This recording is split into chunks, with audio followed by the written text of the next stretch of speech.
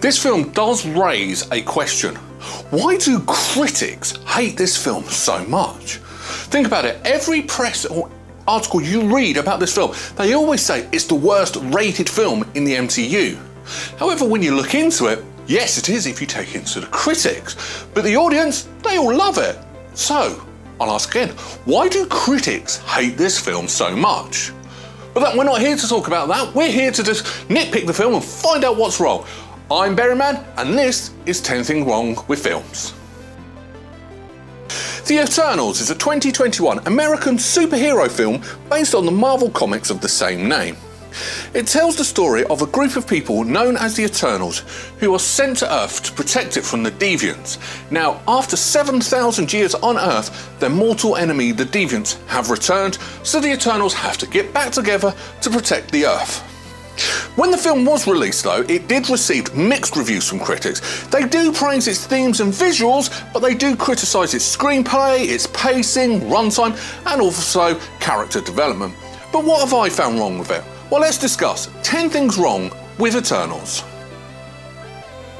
Number 10 Censorship. So, something that's really wrong with this film, and it's not the actual film's fault to a certain extent, is it's banned in so many countries. For example, it's banned in China, and I've got my script here to double check. It's banned in China because the director has previously made comments that China is a place full of lies. Please, I never said that, I'm just repeating what she said. It is also banned in Saudi Arabia, Kuwait, Qatar, Bahrain, UAE, Jordan, Lebanon, and Egypt. It's all banned in those uh, countries. Now, they did ask for an edited version, but Marvel actually went and said, no, we're not editing this film. Okay, so the film never got released in there. Now, in Russia, it did actually have an 18, the reason being is it's illegal to show anything gay to anyone, uh, to a minor. Now, that's not my personal opinion, that's fact. That's what happened in Russia. And the funniest one, there was one country that actually did have an edited version because they just wanted the sex scene cut out. Yes, this film actually does have a sex scene in it. It's the first MCU to actually really show a sex scene on a beach. It's quite boring. There's nothing to it, but yeah, so the amount of censorship this film had is a wrong thing. Hell, it's not that bad. Number 9. The Earth's in danger again. So, yeah, I'm getting fed up with this in the MCU. Why is the Earth always in trouble?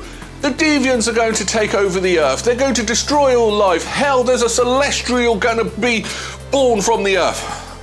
Seriously, I want an MCU film where we have the joy and excitement of the superheroes, but a little bit more grounded.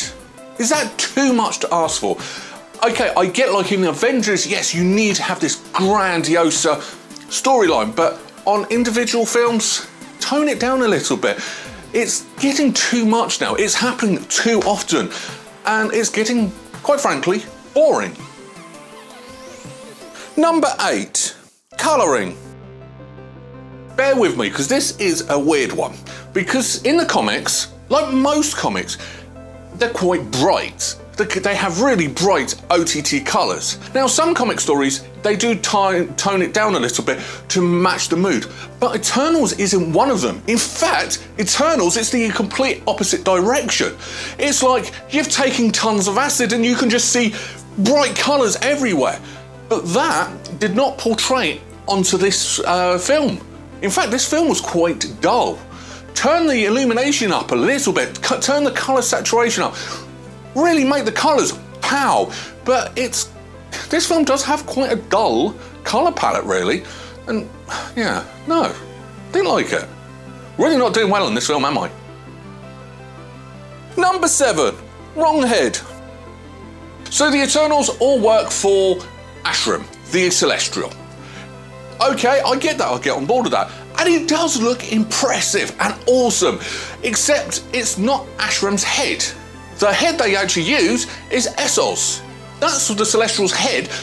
Granted, Arishem is red, but he has lines in some, and or some others it's just a pane of glass, but he doesn't have the six dots. Each Celestial looks different, they have a different style head, and the makers of this film have just used the complete wrong head. which means nitpickers like me will notice facts like this and will call you out on it. Number six, missing burns. Now, granted, this part it was dark, but still it was missing. Let me explain. When the Eternals find Ajak's body, she's lying there dead, they're all upset. Granted, it's a bit rubbishy weather, it's about to rain and it's night time. However, the one thing you cannot see is any burn marks anywhere. What burn marks, Berryman? What are you talking about? Well, later on in the film, when they do a flashback, it shows that Ikaris killed Ajak, took the body back to where the rest of the Eternals found it, but because of his anguish and grief, even though he killed her, didn't quite get that, his laser beam came out and he torched the place. There was a sty in front of him. He torched it. There was flames everywhere. What happened to all those burn marks? What happened to all that damage? That is quite a big flaw in this film, really. Number five, police siren. I am really starting to think that Hollywood hates us British because, once again, we have a film set in London.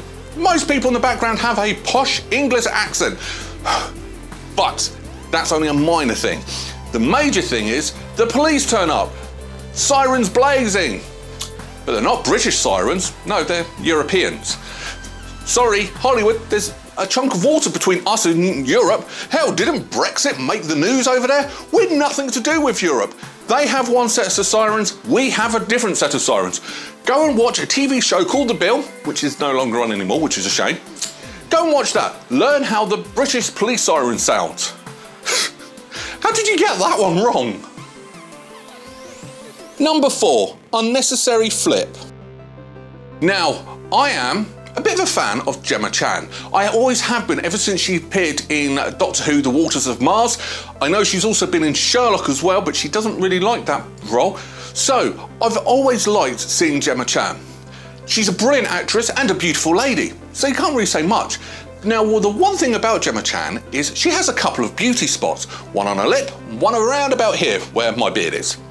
So, you can tell when a camera shot is flipped. And that happens in this film around about the one hour, one minute, 12 second mark. For some reason, while she's being told what's going on by Arishem the Celestial, the camera's flipped. It's a black background. It doesn't need to be. Now, I understand in filmmaking, sometimes to get the better shot, you flip it, but you didn't need to. And because of Gemma Chan's beauty spots, you notice it straight away. And I'm just sat there thinking, huh? What, what, what, why? Why did you flip the shot? You didn't need to, didn't add anything, and you just give ammos to nitpickers like me, which this film has done a lot. Number three, celestial size. So yes, the size of the celestial, especially Arishem, is impressive. You get to see how big and how awesome he is. But I'm not actually talking about Arishem. I am actually talking about the celestial that is born from the earth. As he's coming up, you see his hands, these fingers are impressive. Then you see his head, which is smaller than his fingers. Seriously, go watch this film and you see the fingers are bigger than his head. What, he comes out of the earth and then his head expands? it doesn't make sense. Why does this creature have bigger fingers than its head? You can imagine how it looks when it's fully grown, but no. Number two, the Earth is ruined. Now this section is actually a two for one because even though I've already moaned that the Earth's in danger, sorry, no, the Earth is completely and utterly twice. Now let me explain. At the beginning of the film, there's a bit of an earthquake. It, first of all, you think it's just London, then it turns out the entire Earth shook. Now, realistically, if that actually did happen, I'm pretty sure that the gravity on the Earth will just ruin us completely. That's it, stopped. But London can't survive an earthquake like that. London doesn't have earthquakes that big, so its infrastructure and its buildings aren't built to withstand earthquakes like that. So it doesn't make any sense why have a massive earthquake in London and the next thing nothing's out of an ordinary. No, sorry, half of London would collapse. But the other thing that this film actually does ruin in the Earth, and also potentially the rest of the MCU, is how the size of the Celestial sticking out of the Earth. Because of the size of this thing, and it's come up from the ocean floor, the Earth's now going to be slightly a bit more skew with. It's going to affect the Earth's gravity a little bit. It's going to affect the mass of the Earth. It's not going to spin properly.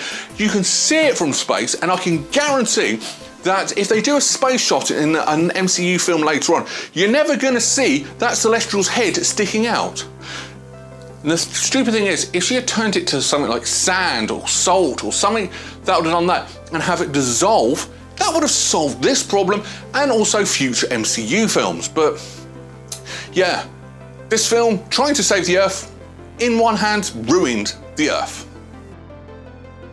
Number one, post-credit scene. Apart from the fact I really, really want to moan the fact that Harry Styles turned up in a post-credit scene. However, that's just me. I know lots of people like that bit. But that's not what I'm moaning about the post-credit scenes. And this is about the MCU in whole for the past few films is they're not setting up the next film in the MCU. Granted, this did set up the next Eternals film. Great. But what about the next film in the MCU, which was Spider-Man No Way Home? Great film if you haven't seen it, go and see it. There was nothing to actually like really push that home. Why not? This is what people loved about the MCU to start with. It's sort of, right, the next film is going to be this. The next film is going to be this. Why can't we go back to something like that? Because I miss that in the MCU. Final thoughts. So, as I said in the intro, this is, from the critics' point of view, the worst MCU film ever. Now, as I said, I've defended it saying the audience don't agree. But so, what is the issue with this film? Is it a good MCU film? Compared to the rest of the MCU? No, it's not. It's not the worst. There are, is one other film that's not as good, but it's not a good MCU film. However, it isn't actually that bad of a film. So if you took it out the MCU, it probably would actually fare that little bit better. But because you watch it and compare it to this behemoth called the MCU, that's what actually lets this film down. It's not a bad story, it is okay. The way the story is told is actually very off putting. It's very to and from, to and from.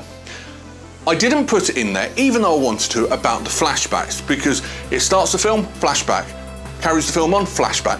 Why? Why couldn't you do all the flashback bits at the very beginning and then continue the story on? That would have made this film uh, so much more better and a lot more easier to watch and understood and follow. Now later on they did do a flashback about what really happened with Ikaris. That was perfect. Perfect timing, perfect storytelling, brilliant, and it had that twist in it as well, which I love those sorts of twist things. That part's doing brilliantly, but the beginning of this film, it's just so all over the place, so disjointed, makes it hard to follow, and I think that's one of the reasons why critics didn't like this film. Another big flaw this film had was referencing. Now, granted that it did reference the Thanos and the uh, rest of the MCU, fine, I've got no issue with that. But referencing Batman, Superman, and Alfred the Butler? No, you don't need to do that. It didn't quite, well, it did work, but it was unnecessary. And now, the other thing that this film was praised for is the visuals, and the special effects are good, but as I said, the colouring, I found this visually very dull and flat. So visually, it's not that good. The soundtrack's okay, it's nothing to shout about.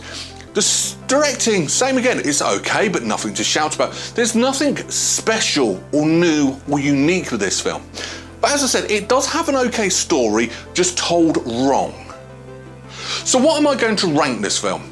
Well, there's a lot of issues with it, but I'm not going to be overly that harsh to it. So I'm actually going to give it a 6 out of 10 berries.